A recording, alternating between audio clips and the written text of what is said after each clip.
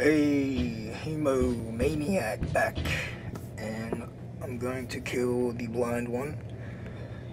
This is like an extension off the last video I made clearing out the bunker second difficulty.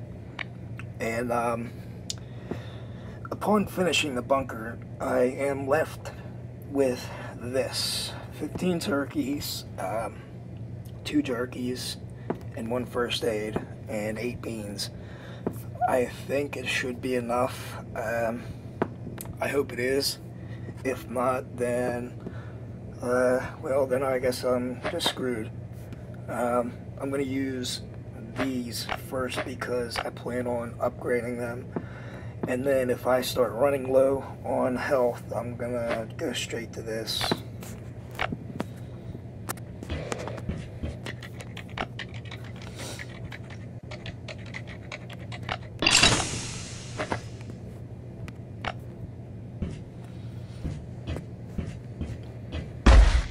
Yeah.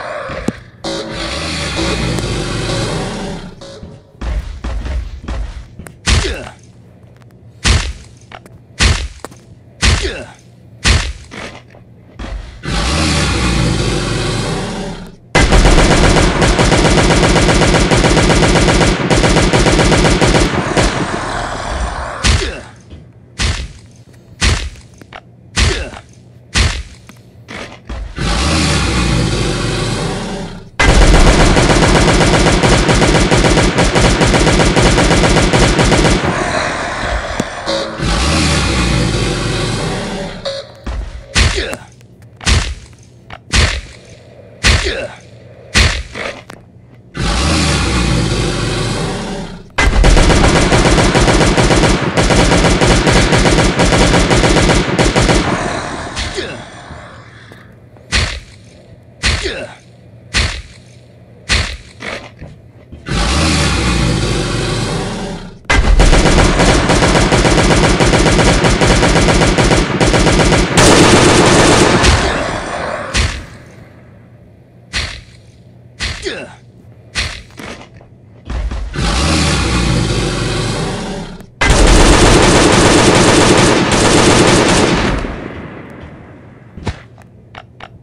Short but sweet.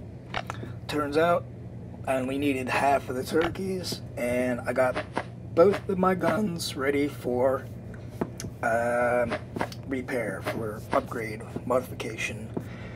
And uh, I actually could have maybe even finished with the uh, the armor that was uh, that I started with that was damaged. So, actually, with what I just got, I might be able to get the uh, second chip. I got one chip uh, for clearing the bunker and see if I get the second. I have yet to get the uh, the blind one skin.